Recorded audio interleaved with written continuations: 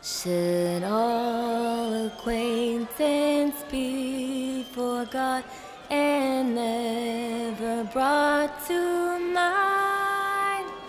Should all acquaintance be forgot and days of auld lang syne? For auld lang syne, my dear, for all.